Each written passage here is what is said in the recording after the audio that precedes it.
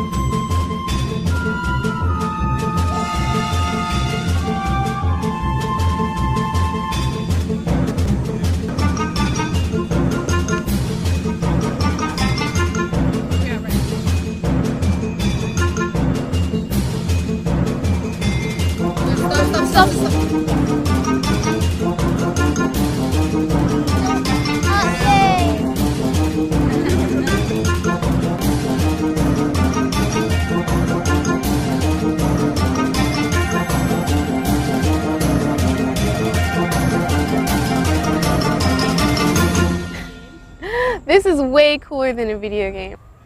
If you've watched the news recently, you may have heard about the Pacific Garbage Patch. It is a collection of plastic debris and waste that is hundreds of miles wide, out in the middle of the Pacific Ocean.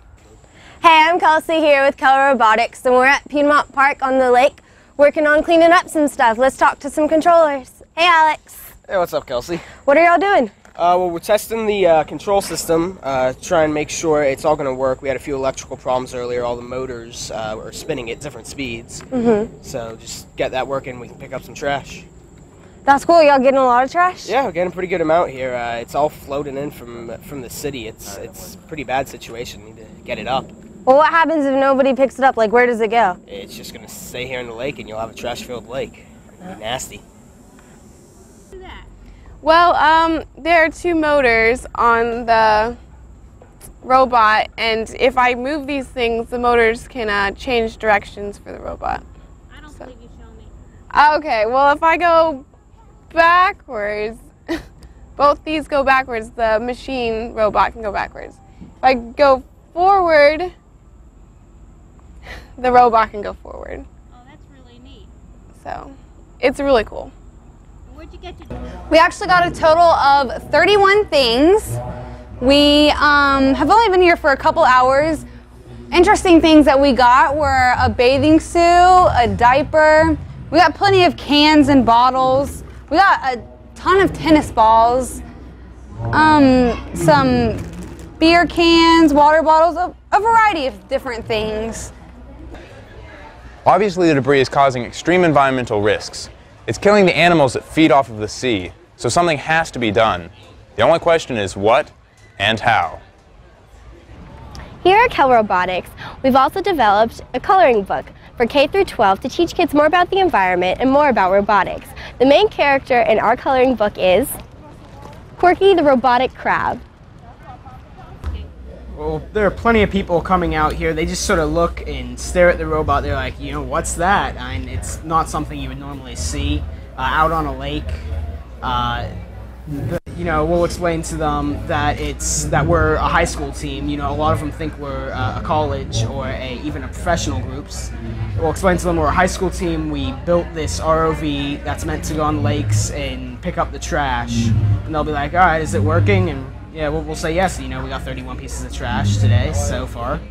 Paul McCartney is here with the Green Concert in order to help make Piedmont Park one of the most beautiful parks in the world. The crab's name is Corky. He's the main character of the coloring book that I designed for the robotics team. It's geared to help younger kids relate to the problems around the lakes, like um, pollution and, you know, just general cleaning up after yourself and recycling. Well, in the future, Corky's going to have a few different upgrades.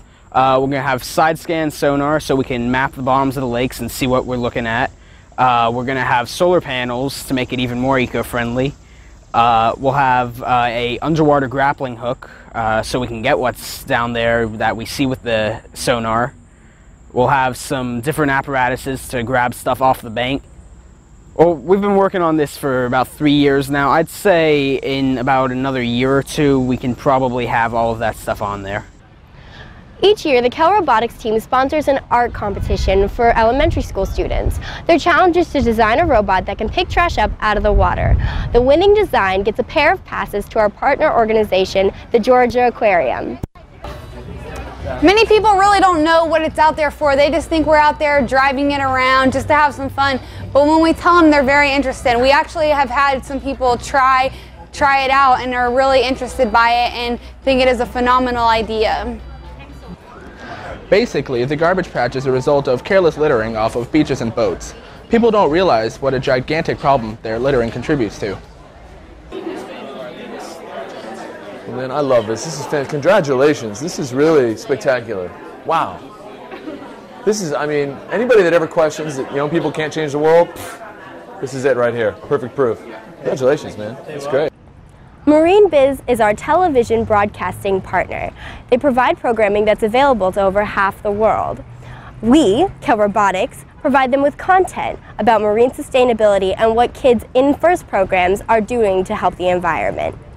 Well, I'm just gonna. I mean, the only thing, the only thing I can think I can say is thank you. This is amazing. Uh, you know, I, I travel all over the world, and I don't think I've ever seen a project quite as ingenious as this, and certainly not with the kind of engineering and robotics that has to go into making this kind of a system work. So, I don't even. Know I wouldn't even know where to start uh, with something like this. But I'll tell you, I've seen projects, you know, with NOAA, with ROVs, and you know the big sophisticated ones, and uh, um, to think that you guys have been able to pull this off is, is pretty spectacular. So, congratulations and. Wow, keep it up. It's amazing. Thank you.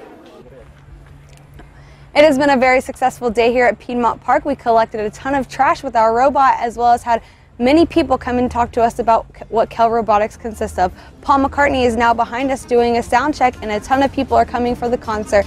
If you want to learn more about us, visit kellrobotics.org.